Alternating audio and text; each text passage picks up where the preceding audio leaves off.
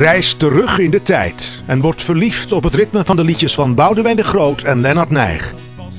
Ga naar de hitmusical van eigen bodem met René van Koten, Sophie Veldhuizen en Thomas Kammaert en een liveband onder leiding van Marcel de Groot. Als die maar geen wordt, er misschien Onder de groene hemel, nu in het theater. Ga voor kaarten naar onderdegroenehemel.nl.